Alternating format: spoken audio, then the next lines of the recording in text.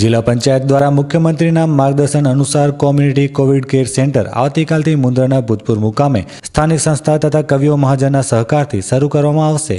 જેમને ઘરે home quarantine થવાની વ્યવસ્થા નથી, તેવા દર્દીઓ આ સેન્ટરમાં દાખલ થઈ શકશે અને ભૂતપૂર્વ પ્રાથમિક આરોગ્ય કેન્દ્ર દ્વારા તેમની સારવાર થશે. આજે યોજાયેલી પત્રકાર પરિષદમાં કચ્છ જિલ્લા પંચાયતના અધ્યક્ષા પારુલબેન કારાએ સ્વતંત્ર ટીવીનું સાથે વાત કરતા માહિતી આપી હતી.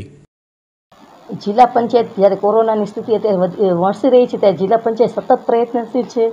અમારા ડીડીઓ શ્રી, અમે સૌ પદ, પદાધિકારીઓ શ્રી, તેમજ સમગ્ર આરોગ્ય સ્ટાફ સતત ચિંતા સેવી રાત દિવસ મહેનત કરી રહ્યો છે. અને જે કંઈ સુવિધા જિલ્લા પાસે, કચ્છ જિલ્લા પાસે ઉપલબ્ધ છે, એમાંથી સારામાં સારી કામગીરી થઈ શકે એના માટે અમે સતત પ્રયત્નશીલ છીએ. દરેક જગ્યાએ પીએચસીમાં રસી કેન્દ્ર, રસીકરણ કેન્દ્ર ચાલુ છે અને હજી અત્યારે પેટા રસીકરણ કેન્દ્ર લગભગ જગ્યાએ શરૂ કરી દીધા છે. અને જ્યારે આવતીકાલથી ચાર દિવસ સુધી જ્યારે વડાપ્રધાન આપણા નરેન્દ્રભાઈ મોદીએ જ્યારે રસીકરણ અભિયાન ચલાવ્યું છે, ત્યારે આ રસીકરણ અભિયાન માટે ને સફળ બનાવવા માટે અમે સૌ પદાધિકારીઓ કામે લાગી ગયા છીએ. ગઈકાલે વીડિયો કોન્ફરન્સના માધ્યમથી વિજયભાઈ રૂપાણી, આપણા મુખ્યમંત્રીશ્રીએ એવું સૂચન કર્યું કે જે સમાજના શ્રીમંત લોકો છે, એ પણ આપણે લોકભાગીદારી જેને આપણે કહીએ છીએ, એ સરકાર સાથે જો સહયોગ સાધે તો આપણે વધારે સારી રીતે કામ કરી શકીએ.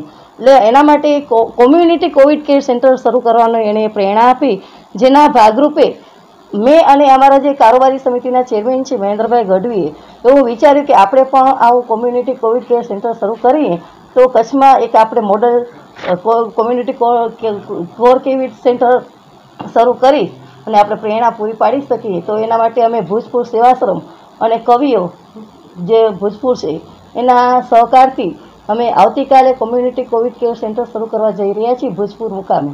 એ રીતે મહેન્દ્રભાઈ ગઢવીએ વિગતવાર વાત કરતા માહિતી આપી હતી. મિત્રો માનનીય વિજયભાઈ રૂપાણીએ જે પ્રકારે પબ્લિક પ્રાઇવેટ પાર્ટનરશિપનો કોન્સેપ્ટની જે પહેલ કરી એ પછી અમે લોકો માનનીય અમારા જિલ્લા પંચાયત પ્રમુખશ્રી સીડીએચઓ સાહેબશ્રી અને અમે બધા બેઠા. અને પાર્ટીના પ્રમુખશ્રી મહામંત્રીશ્રીઓ ધારાસભ્યશ્રી સંસદ સભ્યશ્રી બધા સાથે પણ ચર્ચા થઈ. એ પછી એવું નક્કી થયું, નક્કી કર્યું કે એકાદ જગ્યાએ આપણે કામની આ રીતે શરૂઆત કરીએ. અને એ કામના જે ફીડબેક મળશે, એના ઉપર આગળ ઉપર આપણે આખા કચ્છમાં આ મેથડ ઉપર કામ કરવા માટે આપણે પ્રયત્નશીલ થઈશું. તો અત્યારે ભુજપુર મધ્યે જે પેશન્ટો આપણે કનેક્ટ થાય કે આ કોરોના છે, તો જેને ઘરે આઇસોલેટ થવાની ફેસિલિટી નથી અને એ ચેપ પ્રસરાવશે, તો તેના કરતાં એક જગ્યાએ આપણે એને રાખીએ અને એના ખાવા પીવાની, જમવાની ચા પાણીની બધી વ્યવસ્થા એ એક સમાજ દ્વારા થાય. તો અમે એવું નક્કી કર્યું છે કે આપણે જિલ્લા પંચાયતનો સ્ટાફ છે, જે પીએચસીનો ત્યાં સ્ટાફ છે એની મેડિકલ ટ્રીટમેન્ટ છે એ સ્ટાફ કરશે. પરંતુ એના આનુષાંગિક બીજી બધી જે વ્યવસ્થાઓ છે, એ સમાજના લોકો કરશે. અને જો કોઈ ક્રિટિકલ પેશન્ટ ત્યાં કને ઊભો થાય, તો એક કામ ચલાવ એમ્બ્યુલન્સ અમે ત્યાં અત્યારે રાખી છે, જે યુટિલિટી ગાડીમાં હશે અને એની પાછળ સેટી રાખેલી છે. કારણ કે અત્યારને અત્યારે કોઈ એમ્બ્યુલન્સ લઈ શકાય નહીં. એટલે કે ખેડૂતની ગાડી છે, એ ગાડીમાં આપણે એક સેટી રાખી અને એને જરૂર પડે તો બીજી હોસ્પિટલમાં ટ્રાન્સફર કરવા માટેની વ્યવસ્થા અમે લોકો કાલથી ત્યાં કરવાના છીએ.